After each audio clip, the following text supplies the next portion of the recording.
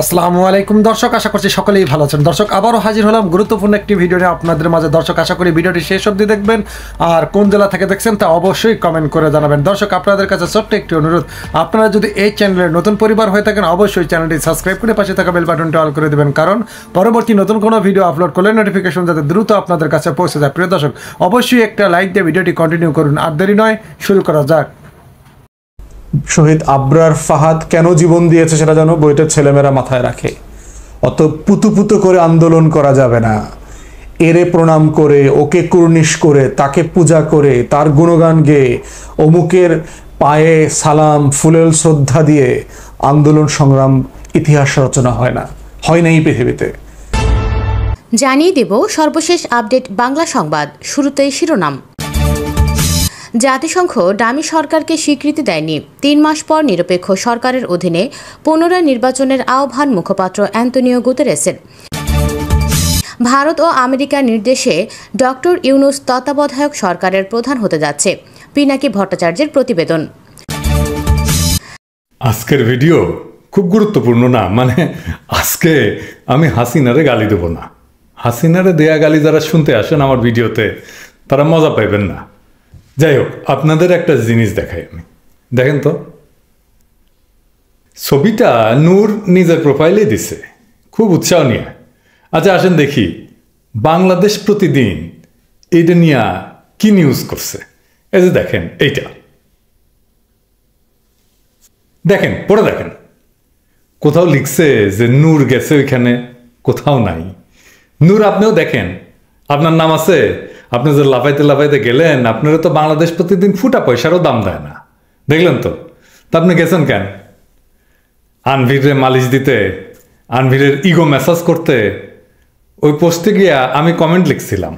এই যে আমার কমেন্ট দেখেন। লিখছিলাম যে তলে তলে সবাই টেম্পু চালায়, তার উপরে বলে হরতাল। সেখানে কেউ কেউ দেখালাম লিখছে যে বিএনপিও গেছে, আমি তো টাসি খাইলাম। তারপরে সার্চ দিয়ে দেখলাম যে হুম কথা সত্য। এই যে দেখেন কে কে গেছে? আমরা বিএনপির পক্ষ থেকে যারা উপস্থিত হয়েছি আমি বাংলাদেশ প্রতিদিন পরিবারকে আন্তরিকভাবে মোবারকবাদ জানাই বাংলাদেশ জাতীয়তাবাদী দলের পক্ষ থেকে। বাংলাদেশ প্রতিদিনকে চোদ্দ বছরের শুভেচ্ছা। বসুন্ধরা গ্রুপের সকলকে বাংলাদেশ প্রতিদিনের সম্পাদক নাইম নিজাম সহ কলা কুশলী সকলকে বাংলাদেশ জাতীয়তাবাদী দলের পক্ষ থেকে আমার পক্ষ থেকে শুভেচ্ছা। ফুল দিয়ে শুভেচ্ছা জানাচ্ছে জানালেন জামাত ইসলামীর পক্ষ থেকে মোহাম্মদ সেলিম উদ্দিন রহমান মুখপাত্র সম্মিলিত জাতীয় জোট। একটু স্টপ থাকবেন একটু প্লিজ বাংলাদেশ প্রতিদিন বরকতুল্লাহ বুলু ভাইকে বিএনপির ভাইস চেয়ারম্যান। বিসমিল্লাহ রহমান রহিম। বাংলাদেশ প্রতিদিন সকল মানুষের কাছে একটি জনপ্রিয় পত্রিকা।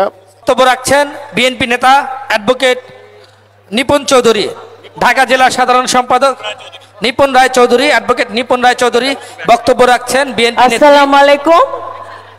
বাংলাদেশ প্রতিদিন আজকে চোদ্দ বছর প্রতিষ্ঠা বার্ষিকীতে আমি এই পত্রিকার যারা আছেন সম্পাদক থেকে শুরু করে সকল সাংবাদিক, ভাই ও বোনেরদেরকে আমি শুভেচ্ছা এবং অভিনন্দন জানাচ্ছি।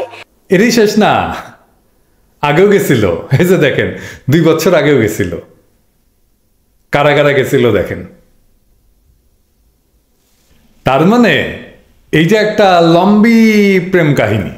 তো ভাইরা, আপনারা যে দল গেলেন, বাংলাদেশ প্রতিদিন আপনাদের একজনের নাম নিছে, তাদের নিউজে নেয় নাই তো?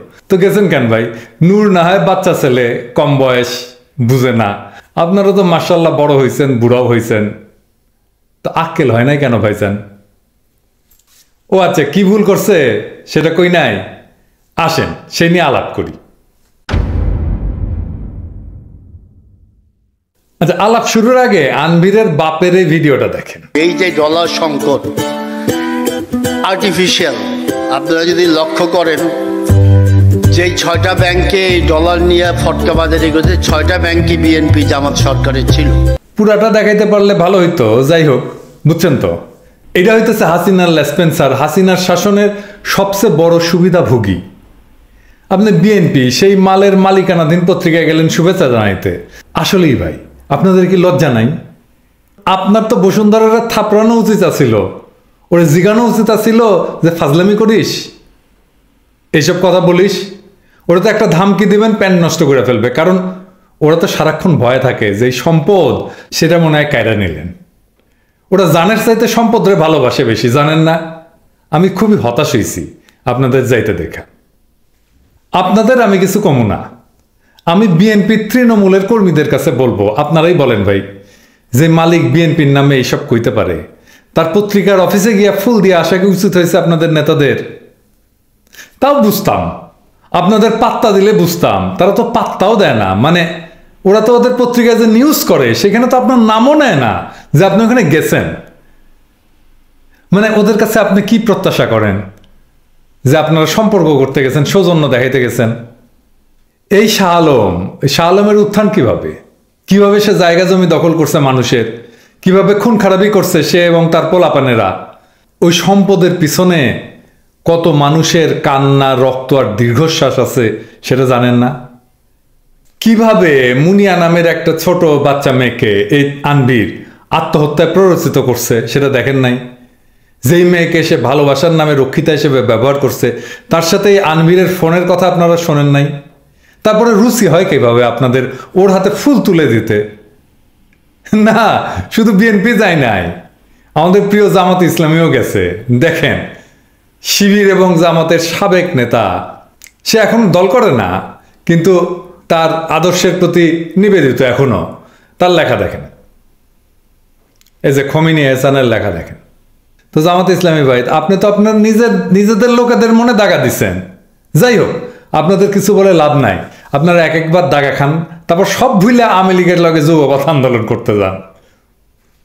আপনারা তো সবার বেশি বুঝেন। করেন আপনার মুরগি, আপনি লেজে কাটেন, আমরা কে কওয়ার লোক? শোনেন, জামাত ইসলামী, আপনাদের আমি মজলুম মনে করি, তাই নিজের কিছু ব্যক্তিগত দায় আছে বলে মনে করি। আপনাদের বিরুদ্ধে যে চরম মানবাধিকার লঙ্ঘনের ঘটনা ঘটছে এবং ঘটে যাইতেছে, তার জন্য আমার সমবেদনা আছে, সমবেদনা থাকবে, আমি প্রতিবাদ জানায় যাব সব কিছু চলমান থাকবে। কিন্তু ভিকটিমহুড সব কিছু লাইসেন্স দেয় না, যা খুশি তাই করার লাইসেন্স দেয় না। আপনাদের একটা হাই মরাল পজিশন তৈরি হইতে পারে। সেটারে এইভাবে হেলায় হারায় কেউ? বেকুব না হইলে? আমাকে বন্ধু মনে না করেন অসুবিধা নাই। আমি তো আপনার শত্রু না, তাই না? এই যে আপনি নিজে, জামাত ইসলাম, আপনি নিজে, নিজের ওয়েবসাইটে যেটা ঝুলাই রাখছেন, এই যে এটা, এই যে দেখেন, নিজেই পড়েন। তারপরে এই যে বিবৃতি দিচ্ছেন হ্যাঁ বাংলাদেশ প্রতিদিনের বিরুদ্ধে হ্যাঁ এইটা নিজের ওয়েবসাইটে ঝুলাই রেখে কি আপনি তাদের শুভেচ্ছা জানাইতে পারেন, যাইতে পারেন? আপনি তো নিজেই বলতেছেন, তারা সৎ সাংবাদিকতা করে না। আবার দেখলাম নুরুল ইসলাম বুলবুলের পোস্টের নিচে এটা বলতেছে যে এটা সৌজন্য জানাইতে যাওয়া। আপনি কি একজন ধর্ষক খুনি আর জালেমকে সৌজন্য দেখাইবেন? হাসিনাকে সৌজন্য দেখাইতে যাইবেন? বেনজিরকে সৌজন্য দেখাইতে যাবেন? আমার প্রশ্নের উত্তর দিতে হবে না। এই যে খমিনী হাসান যে- যে প্রশ্ন করছে, ও প্রশ্নের জবাব দেন, এই পোস্টের জবাব দেন তাইলে হবে। দেখেন, কেন যাওয়া উচিত না, সেটা বলছে সে। এই যে শাহ আলম রাষ্ট্রের চাইতে শক্তিশালী হয়ে উঠছে, আর এটা করছে বাংলাদেশের সবগুলো রাজনৈতিক দল। আপনারা সব সহ, বিএনপি, জামাত, এই নূর, সবাই মিলে। আমি এ বিষয়ে নিয়ে কথা বলব একটু পরে, তার আগে একটু বিএনপির লগে আলাপ করে আসি হ্যাঁ? ভাই, বিএনপি শোনেন, আমি তো বিএনপি করি না, তাই না? আমি আপনার দল করি না, তাই না? আপনার অনেক কিছু বলি না, এটা সত্য। কারণ কারণ কি সেটাও জানেন যে কেন বলি না? কারণ আপনারা এখন নিপীড়িত, আপনারা এখন নির্যাতিত। কিন্তু আপনারা আকাম করলে কিন্তু আপনারা বাম্বু দিতে আমার চোখের পাতা একটুও কাঁপবে না। আপনারা বন্ধু আর সহযোদ্ধা বলে মনে করি, কিন্তু আপনারা মনে করেন না তো আমাদের, বন্ধু সহযোদ্ধা। এ দেখেন বাংলাদেশ প্রতিদিন কি কি কি কি নিউজ করছে আমার নিয়া। স্যার কলমে নিউজ করছে, কি বলছে? সাইবার দুর্বৃত্ত। তো আপনি যদি আমাদেরকে বন্ধু মনে করতেন, তাইলে তো যারা আমাদের পিছনে লাইগা আছে আদা জল খাইয়া, তাদের লগে তো লৎকালৎকিত করতে যাইতেন না, তাই না? মাইনসে বলে যে আওয়ামী লীগ যায় যদি বিএনপি আসে তাহলে একই হবে। কথাটা বাড়ায় বলে না কিন্তু, বলার মতো পরিস্থিতি তো আপনারাই তৈরি করে দেন। তো করেন আপনার রাজনীতি। আপনারা তো এদেরকে রক্ষা করবেন, শাহ আলমকে রক্ষা করবেন আনভিরকে রক্ষা করবেন করবেন না? করবেন তো, আগেও করছেন। আসেন, আমরা একটু দেখি বসুন্ধরা কেন বাংলাদেশ রাষ্ট্রের জন্য বিপজ্জনক? এই যে শাহ আলম পরে আবার নাম নিছে সে আহমেদ আক্তার সোবান এটা ভার আলা নাম না নিলে তো প্রেস্টিজ থাকে না, তাই না? তো সে কি করছে আসলে? সে জমি কিনছে বা জমি কেনার নামে দখল করছে, কম দামে কিনছে, এমনকি জমি না কিনেই দখল করছে। এই কাজে সে ইউজ করছে গুন্ডা বাহিনী, প্রশাসন। এবং এই নিয়ে যা যা কিচ্ছা আছে খুনাখুনি পর্যন্ত হয়েছে যে তার পলাই করছে খুন হ্যাঁ? তো সেই খুনকে সে ধামাচাপা দিছে। কীভাবে জানেন? সবাই রে ওই যে জমি দিয়াই, যে জমি তার না, সে জমি দিয়াই সে কিনছে। সে বিচারপতিদের কিনছে, উকিলদের কিনছে, সাংবাদিকদের কিনছে, পুলিশ অফিসার কিনছে, আর্মি অফিসারদের কিনছে, আর পলিটিশিয়ান ওদের কিনতে হয় না। ওরা এমনিই রাজি থাকে। ওটা এমনি এমনি ধরা দেয়। এই যে ভিডিওটা দেখেন। আপনারা করছেন আমরা ফিরাচ্ছি। আমরা ফিরাচ্ছি। আপনি আপনি হাত করে কথা বলবেন না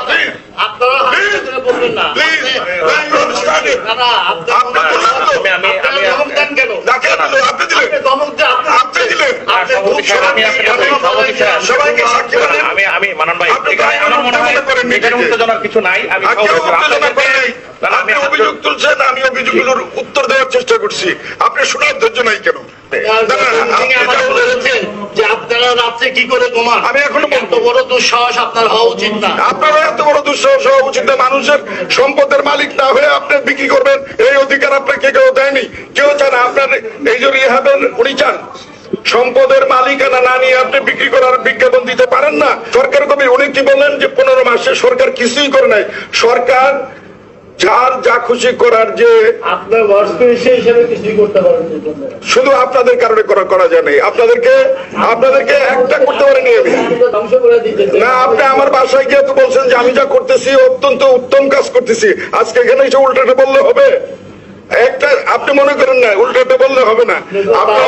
শুনেন আপনি তো তাও বললেন যে আপনারা রাত্রে কি করে ঘুমান? আমার জিডিপিতে যে অবদান আছে আপনি সেই অবদান করেন তারপরে বলেন আমি আমি তো ওই কাজে যাব না। আমি তো অন্যায় কাজ করে সম্পদ করব না। ওই হিসাব করে না না আপনার আপনার আপনার প্রতিনিধি দলের নেতারা জিজ্ঞেস করেন যে যেই সম্পত্তির মালিক আপনি বা আমি না সেই সম্পত্তি বিক্রি করার বিজ্ঞাপন আমরা দিতে পারি কি না? আমি সকলের কাছে দেশবাসীর কাছে বিনীতভাবে অনুরোধ করলাম। আর আপনি যে কথাগুলো বললেন আমরা ধৈর্য ধরে শুনলাম। আপনারা আপনারা জমির মালিক না হয়ে সারা দেশের সব জমি জলাধার করে দিতে পারেন না। কে? আপনারা। সরকার সব জমির মালিক আপনার জানা উচিত। সরকার যেগুলো মধ্যে এক কাঠা জমিও কারও মালিক আপনি যে আপনি আপনি কারও মালিক উন্নয়ন কাজে সরকার যে কোনো ব্যক্তির যে কোনো জমি যে কোনো সময় অধিগ্রহণ করতে পারে। সে হাসিনার এক মন্ত্রীরা ধমকাইতেছে। আমিও হাসিনারা গাইলাই, সেটা পলিটিক্স রাজনীতি। সে আমার পলিটিক্যাল অপোনেন্ট কিন্তু শাহ আলম কেন ধমকাইতেছে? কারণ সে যেই জমি তার না, সেটা বেচতেছে। এবং এই জমিগুলোই সে দেয় বিভিন্ন জনকে আর্মি অফিসারকে দেয়, পুলিশকে দেয়, সাংবাদিককে দেয়, বিচারপতিকে দেয় পলিটিশিয়ানদেরকে দেয়। তো এইটা নিয়ে কথা বলছে হাসিনার মন্ত্রী, আর সে তারা ধমকাইতেছে। তার মানে সে রাষ্ট্রের চাইতে ক্ষমতাবান হয়ে উঠছে। তার নিজস্ব বাহিনী আছে কিন্তু, বাংলাদেশের সবচেয়ে বড় বেসরকারি সশস্ত্র বাহিনী তার। তার শুধু সশস্ত্র বাহিনী না মানে বন্দুক টন্দুক নিয়ে ঘুরে বেড়ায় তাই না গানম্যান না শুধু। তার ডগ স্কোয়াড আছে, গোয়েন্দা বাহিনী আছে। দেখেন দেখেন, তাদের নিজস্ব গোয়েন্দা বাহিনী আছে। ভাবেন ব্যাপারটা। আর এই যে বসুন্ধরা আবাসিক এলাকা, এইটা কোন সিটি কর্পোরেশনের আন্ডারে চেক করেন। ঢাকা নর্থের এলাকার তালিকা কিন্তু খুঁজে পাই না বসুন্ধরা এলাকার নাম। আপনারা খুঁজে দেখতে পারেন। তার মানে ওইটা একটা রাষ্ট্রের মধ্যে রাষ্ট্র, ওইটা রাষ্ট্রের বাইরে। ওই জায়গার নিরাপত্তা তারা দেখে। ওই জায়গায় তারা তার গাড়ি নিয়ে টহল দেয়। তাদের নিজস্ব নিরাপত্তা বাহিনী। এরপরে তাদের সাথে ইন্ডিয়ানদের একটা সম্পর্ক হয়েছে এর পত্রিকাগুলো যত বেশি না হাসিনারে সার্ভিস দেয়, তার চেয়ে বেশি সার্ভিস দেয় ইন্ডিয়ারে। বসুন্ধরার সাথে ইন্ডিয়ার কি কি রিলেশন এটা নিয়ে পরে একটা এপিসোড করব নি। আজকে বেশি বড় হয়ে যাইতেছে। তাও জানায় রাখি এই যে আনভির দেখেন, এই যে ইস্ট বেঙ্গলের স্পন্সর হয়েছে ইন্ডিয়া গিয়া। লন্ডনে গিয়া হর্ষবর্ধন সিংলার সাথে দেখা করে আসছে। কি শাহ আলম ভাইজান, এত পিতলা খাতির কেন গলার জোরে এই জন্য বেশি, সেই জন্য ধমকান। হাসিনার মন্ত্রীদেরকে। যে হাসিনার খুঁটি যেটা, হাসিনার খুঁটি যেখানে বান্ধা আছে, হাসিনা হাসিনা যেই খুঁটির জোরে লাফালাফি করে, সেই খুঁটির সাথে আপনার সম্পর্ক, তাই না? সেজন্য হাসিনার মন্ত্রীদেরকে গাইলেন। তার উপরে এই যে যে জায়গাটা নিয়ে বসুন্ধরা সিটি, সেটা পরিবেশগতভাবে একটা খুবই সংবেদনশীল এলাকা। ওই জায়গায় কোনো স্থাপনা করা, বন্যা ব্যবস্থাপনার জন্য ঝুঁকিপূর্ণ। এটা আমার কথা না, এটা পরিবেশবিদদেরই কথা, এটা হাইকোর্টেরও কথা। এই হাইকোর্ট সেই জন্য এই জায়গাটাকে অবৈধ ঘোষণা করছিল কিন্তু। তারপরে হাসিনা এটার আবার বৈধ করে পারমিশন দিছে দুই হাজার চোদ্দ সালে। ব্যাপার না, রাজাকার আমলিক করলে যদি মুক্তিযোদ্ধা হইয়া যাইতে পারে হাসিনার মতো একজন চূড়ান্ত অজনপ্রিয় প্রতিহিংসা পরায়ণ ফ্যাসিস্ট শাসক যদি বিনা ভোটে ক্রাইম মিনিস্টার হইতে পারে, কেন শাহ আলম আক্তার সোবান হইতে পারবে না? আর কেনই বা তার পরিবেশ বিধ্বংসী দস্যুতা করে লুটে নেওয়া জমিতে আবাসন প্রকল্প বৈধ হবে না? হবে তো? এটা তো বাংলাদেশ। এই শাহ আলম রে সবাই তেল দেয়। সে পলিটিশিয়ানদের উপরে উঠে গেছে। কারণ পলিটিশিয়ানরা তো তেল দেয় তারে। তবে শাহ আলম, শুনে রাখো, সবকিছুরই শেষ আছে। বাংলাদেশে একদিন জনগণের শাসন প্রতিষ্ঠা হবে। তোমার টেকার ক্ষমতার বিরুদ্ধে বাংলাদেশের বঞ্চিত মানুষেরা সবহারা মানুষেরা একদিন ঠিকই রুখে দাঁড়াবে। বাংলাদেশে সবসময় কিছু ঘাটতারা মানুষ জন্মাবে। যারা তোমার টেকার ক্ষমতার সামনে দাঁড়ায়, জনতার লড়াইয়ের নেতৃত্ব দেবে। সেই দিন আজকের ফুল দিতে যাওয়া কোনো পলিটিশিয়ান তোমার রক্ষা করতে পারবে না। তাদের সে ক্ষমতা নাই। তোমার নুন খাওয়া সাংবাদিক, তোমার নুন খাওয়া বিচারপতি তোমার নুন খাওয়া পুলিশ আর্মি অফিসার, এমনকি তোমার নতুন প্রভু ইন্ডিয়া, কেউই তোমার রক্ষা করতে পারবে না। কেন পারবে না জানো? পারবে না, কারণ সারা দুনিয়াতে দরিদ্র মানুষেরা বিপুলভাবে সংখ্যাগরিষ্ঠ। শুধু তারা জানে না কেমনে তার শক্তিকে ব্যবহার করতে হবে। বঞ্চিত গোলামদের জন্য কোনো সৌভাগ্যের জিনিস থাকে না। এটা পৃথিবীতে হয় নাই কখনো। অতএব পলাশির প্রান্তরের যে বাস্তবতা, সেটা শহীদ আবরার ফাহাদ জীবন দিয়ে প্রমাণ দিয়ে গেছে স্বাধীনতার জন্য, সার্বভৌমত্বের জন্য। অতএব বুয়েটের ছেলে মেয়েদেরকে বাংলাদেশের নাগরিকদেরকে সিদ্ধান্ত নিতে হবে, তারা কোন পক্ষে থাকবে? তারা কি মির্জাফরের পক্ষে থাকবে? ঘসিটে বেগম, উমিচাঁদ রায়দুল্লভ কৃষ্ণপদ রায় চৌধুরী, এই যে যত স্বাধীনতার শত্রুরা ছিল, এদের পক্ষে থাকবে? নবাব সিরাজউদ্দৌলার মতো মানে মাথা উঁচু করে জীবন দিয়ে স্বাধীনতার ঘোষণা দিয়ে যাবে। এটা সিদ্ধান্ত হচ্ছে বুয়েটের ছেলে মেয়েদের এবং সারা বাংলাদেশের। ধন্যবাদ সবাইকে। দেশে অনেকগুলো বিষয় নিয়ে এখন বেশ আলোচিত হচ্ছে। তার ভিতরে একটা হচ্ছে বুয়েট কাণ্ড। বুয়েটে আমরা কদিন থেকে দেখছি বেশ হইচই হচ্ছে ছাত্রলীগের দখলদারিত্ব নিয়ে। বাংলাদেশের প্রত্যেকটা শিক্ষা প্রতিষ্ঠান, স্কুল, কলেজগুলো পর্যন্ত ছাত্রলীগ যেভাবে পাক হানেদারদার মতো, পাঞ্জাবিদের মতো দখল করে ফেলছে। বুয়েটে দখলটা বাকি ছিল। তা এখন বুয়েট নিয়ে এর আগে আমি কথা বলেছি। প্রশ্ন বোঝার চেষ্টা করছি যে সাডেনলি বুয়েট কেন? মানে এই বিষয়টা নিয়ে এত হইচই কেন তৈরি হয়েছে? এবং আমি অনেকগুলো বিষয় আমার মাথায় আসছে। এগুলোর ব্যাপারে আমার কোনো এভিডেন্স নাই, কোনো দলিল নাই। আমি আমি জাস্ট আমার ভাবনাগুলো বলছি আর কি। যে হঠাৎ করে বুয়েটের পিছনে কেন ছাত্রলীগ লেগেছে? একটা ইনফরমেশন দেখলাম, দু একজন আমার সাথে শেয়ার করেছে যে বুয়েটে এখন কয়েক কোটি টাকার টেন্ডারের কাজ আছে দেখলাম। যে অনলাইনে যে টেন্ডারের কাজ আছে সেখানে দেখলাম অনেকগুলো প্রকল্প আছে বুয়েটে এবং কয়েক কোটি টাকার কাজ আছে সেখানে। তো ছাত্রলীগের মতো গুন্ডা সংগঠনদের মেইন টাকার ইনকাম তো হচ্ছে টেন্ডারবাজি করা আর কি টেন্ডার থেকে টাকা নেওয়া। তো যদি ছাত্রলীগ কমিটি করতে না পারে, ওখানে ঢুকতে না পারে, তাহলে এখান থেকে যে কয়েক কোটি টাকা চাঁদাবাজির সুযোগ আছে ছাত্রলীগের ছেলেপেলেদের, সেইটা তারা ভোগ করতে পারবে না। তো এইটা একটা বিষয় হতে পারে, চাঁদাবাজি। দ্বিতীয় একটা বিষয় হচ্ছে যে বুয়েটের ছেলেমেয়েরা ব্যাপক হারে বিদেশ যাচ্ছে, তাদের অনেক ব্যর্থতার মধ্যে সাম্প্রতিক যে সফলতা আছে সেটা হচ্ছে যে তারা সিলিকন ভ্যালিতে ঢুকেছে, যেটা আমাদের পার্শ্ববর্তী রাষ্ট্র, ভারত আরও তিরিশ বছর আগে সিলিকন ভ্যালিতে ঢুকেছে। বাংলাদেশের ছেলেমেয়েরা সিলিকন ভ্যালিতে ঢুকছে এখন, বেশ কয়েক বছর থেকে। এবং সিলিকন ভ্যালিতে বাংলাদেশের ছেলেমেয়েদের যথেষ্ট রেপুটেশন তৈরি হয়েছে। বিভিন্ন প্রজেক্টে বিভিন্ন বিগ কোম্পানিতে সান ফ্রান্সিসকোতে বিভিন্ন জায়গাতে তারা ভালো করছে, বিভিন্ন ইউনিভার্সিটির টিচার হচ্ছে পিএইচডি করছে। তো সিলিকন ভ্যালিতে বাংলাদেশের ছেলে মেয়েদের ঢোকার মাধ্যমে অন্য অনেক দেশের মানুষের সেখানে কর্মক্ষেত্র সংকুচিত হয়ে আসছে কিনা, সেটা একটা চ্যালেঞ্জের মুখে পড়ার সম্ভাবনা আছে। আবার উল্টো দিকে, ভারতের ভিসা স্কিল লেবার যাওয়ার যে ভিসা আমেরিকাতে ছিল যেটা তারা প্রায় তিরিশ বছর, পঁয়ত্রিশ বছর ধরে আনইন্টারাপ্টেডলি এনজয় করেছে, সেটা আমেরিকা কমিয়ে দিয়েছে। বরং ছাত্র ভিসা, তারপরে হচ্ছে প্রফেশনালদের visa H B one two কিসব বলে টলে, এগুলো এই ধরনের টেকনিক্যাল ভিসা বাংলাদেশ থেকে নেয়া তারা বাড়িয়ে দিয়েছে। আবার জানেন যে কানাডাতে এক শিখ নেতাকে হত্যা করেছে ভারতীয়রা। সেটার প্রেক্ষিতে কানাডার সাথে তাদের সম্পর্ক ভালো না। তো সেই বাস্তবতাতে যেটা হয়েছে যে কানাডা থেকেও প্রচুর কানাডাতে এখন প্রচুর লোক দরকার টেকনিক্যাল লোক স্কিল লোক এবং বাংলাদেশের প্রচুর স্টুডেন্ট মানে যেটা গত কয়েক বছরে হয়নি, অনেক ছাত্র পেশাজীবী হাইলি স্কিল মাইগ্রেন্ট ভিসাতে কানাডায় যাচ্ছে। এখন বুয়েটের এই যে গ্লোবাল এক্সপোজারটা বেড়ে গেছে বিভিন্ন আন্তর্জাতিক বাস্তবতার কারণে, এইটা কারও গাত্রদাহের কারণ হতে পারে। এবং সেই কারণে এখানে একজন রাইট ভিসিকে বসানো হয়েছে। যাকে দিয়ে এইটা, এই পুরো সিস্টেমটাকে কলাপস করায় দিবে। যেন এই যে গ্লোবাল কম্পিটিশনে বুয়েটের ছেলেমেয়েরা যে এগিয়ে যাচ্ছে, তারা দেশকে রিপ্রেজেন্ট করছে ব্যক্তিগতভাবে পেশায় ভালো করছে, এবং নর্থ আমেরিকাতে পার্টিকুলারলি কানাডা এবং আমেরিকাতে সেটা যেন ব্যাহত হয়, বন্ধ হয়ে যায়। এটা একটা বিষয় হতে পারে আর কি।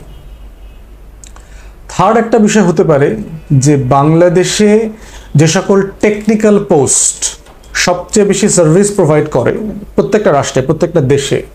তার ভিতরে দেখবেন আমাদের ডাক্তার, আমাদের কৃষি কর্মকর্তা, কৃষিবিদ যারা আছেন ইঞ্জিনিয়ার পার্শিয়ালি তো এই প্রত্যেকটা প্রতিষ্ঠানে দেখেন যে প্রচণ্ড অনিশ্চয়তা চলছে, প্রচণ্ড মানে ঝুই ঝামেলা চলছে। আমাদের মেডিকেল কলেজগুলোর অবস্থা দেখেন, আমাদের ডাক্তাররা ইন্টার্ন ডাক্তাররা মানে ন্যূনতম মজুরিটা পাচ্ছে না।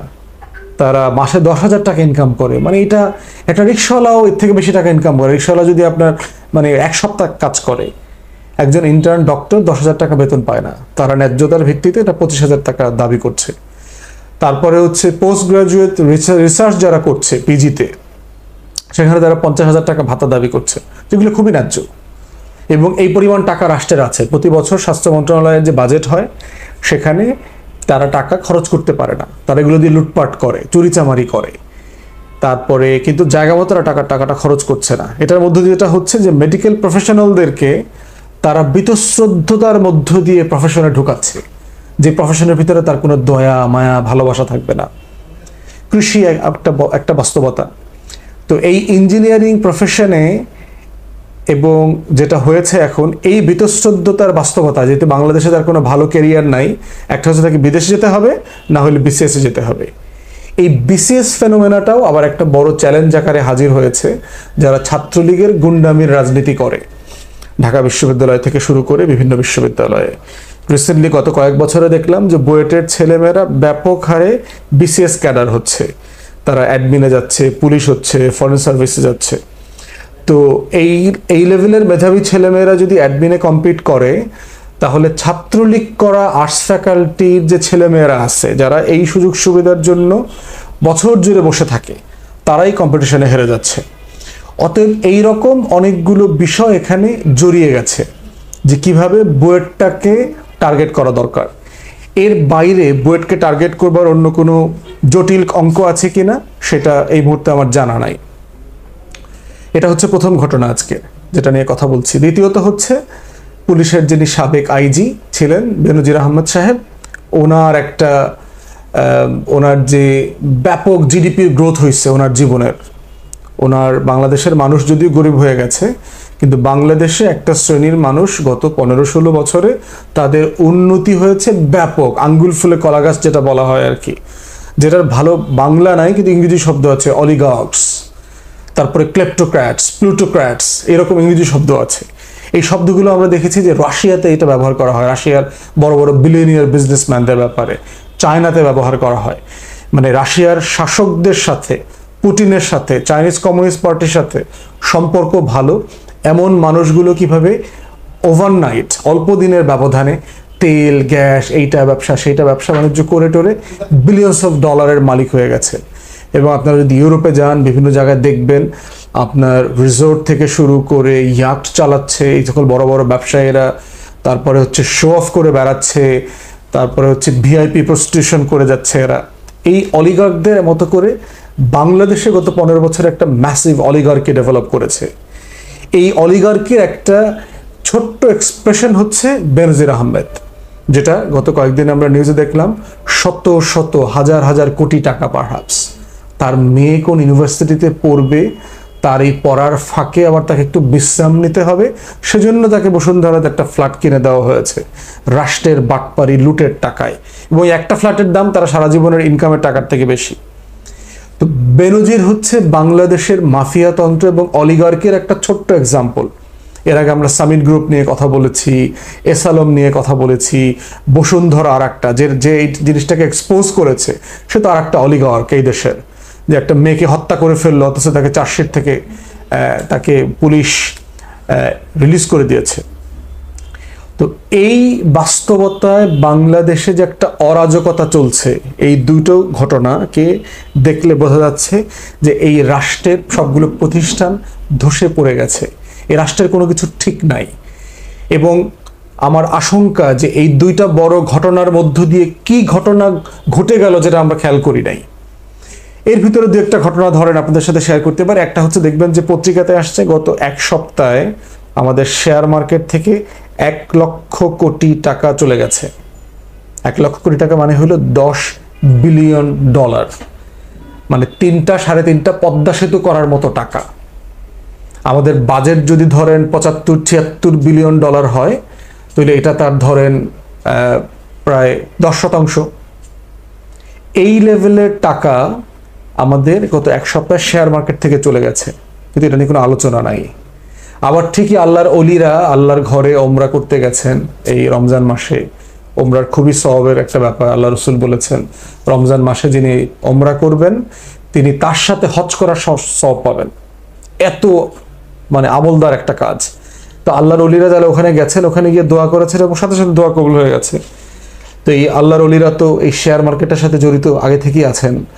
এবং দোয়া করলেন এবং সিকিউরিটি এক্সচেঞ্জ কমিশন ওনাদেরকে আড়াই হাজার, তিন হাজার কোটি টাকার বন্ড ইস্যু করার লাইসেন্স দিয়ে দিলেন। তো এইরকম আরও কি কি ঘটনা এখানে ঘটে যাচ্ছে যে বুয়েট একমাত্র বড় কাণ্ড না। রমজান মাসে চারুকলাতে ব্যাপক আকারে হোলি খেলা হইল, রঙের উৎসব, পূজার উৎসব যেগুলো হইল, এবং মুসলমান ছেলেমেয়েরা দিব্যি এই রং উৎসবে অংশগ্রহণ করল। রমজান মাসে রোজা রেখে না রেখে তার ভিতর দু একটা হিজাব পরা মেয়েও আমি দেখেছি। তো আর কি কি হচ্ছে? মানে এত বড় দুইটা ঘটনার পরে দেখা গেল যে আসলে অন্য কিছু হয়ে গেছে বাংলাদেশে যেটা আর আড়ালে চলে গেছে। টোটাল জাতি ওই ঘটনা দুইটার দিকে তাকায় আছে, মাঝখান থেকে এইটা, এটা এটা, সেটা হয়ে গেছে। এবং আমাদের একটা মেরুদণ্ডহীন পিপিলিকা টাইপের টিকটিকি টাইপের জাতির কোনো খবর নাই। অ্যাবসলিউটলি কোনো খবর নাই। মানে এই রকম আত্মঘাতী জাতি পৃথিবীতে আর কয়টা আছে কে জানে, যে তার রাষ্ট্রের কোনো কিছু খবর রাখে না। রাষ্ট্রে কি হচ্ছে না হচ্ছে কোনো মাথা ব্যথা নাই। সে মাথা ব্যথা হচ্ছে সে তার জীবন, তার ব্যক্তিগতভাবে সে ভালো আছে কিনা। কিন্তু বইটা ছেলে মেয়েদেরকে এর আগে আমরা বলেছি যে বাস্তবতা হচ্ছে, দেবালয়ে আগুন লাগলে কেউ নিরাপদ থাকবে না। সর্বশেষ বলছি, বইটার ছেলে মেয়েদেরকে মাথায় রাখতে হবে, বুয়েট কিন্তু একটা পলাশির প্রান্তরে পরিণত হয়েছে। সতেরোশো সাতান্ন সালে পলাশির প্রান্তরে আমরা স্বাধীনতা সার্বভৌমত্ব হারিয়েছিলাম। অতএব শহীদ আবরার ফাহাদ কেন জীবন দিয়েছে সেটা যেন বইটার ছেলেমেয়েরা মাথায় রাখে। অত পুতু পুতু করে আন্দোলন করা যাবে না। এরে প্রণাম করে, ওকে কুর্নিশ করে, তাকে পূজা করে, তার গুণগান গেয়ে অমুকের পায়ে সালাম, ফুলেল শ্রদ্ধা দিয়ে আন্দোলন সংগ্রাম ইতিহাস রচনা হয় না। হয় নাই পৃথিবীতে। ফরচুন ফেভার্স দ্য ব্রেভ কাপুরুষ ভীরো গোলামদের জন্য কোনো সৌভাগ্যের জিনিস থাকে না। এটা পৃথিবীতে হয় নাই কখনো। অতএব পলাশির প্রান্তরের যে বাস্তবতা, সেটা শহীদ আবরার ফাহাদ জীবন দিয়ে প্রমাণ দিয়ে গেছে স্বাধীনতার জন্য, সার্বভৌমত্বের জন্য। অতএব বুয়েটের ছেলে মেয়েদেরকে বাংলাদেশের নাগরিকদেরকে সিদ্ধান্ত নিতে হবে, তারা কোন পক্ষে থাকবে। তারা কি মির্জাফরের পক্ষে থাকবে? ঘসিটে বেগম, উমিচাঁদ রায়দুল্লভ কৃষ্ণপদ রায় চৌধুরী, এই যে যত স্বাধীনতার শত্রুরা ছিল, এদের পক্ষে থাকবে? নবাব সিরাজউদ্দৌলার মতো মানে মাথা উঁচু করে জীবন দিয়ে স্বাধীনতার ঘোষণা দিয়ে যাবে। এটা সিদ্ধান্ত হচ্ছে বুয়েটের ছেলে মেয়েদের এবং সারা বাংলাদেশের। ধন্যবাদ সবাইকে।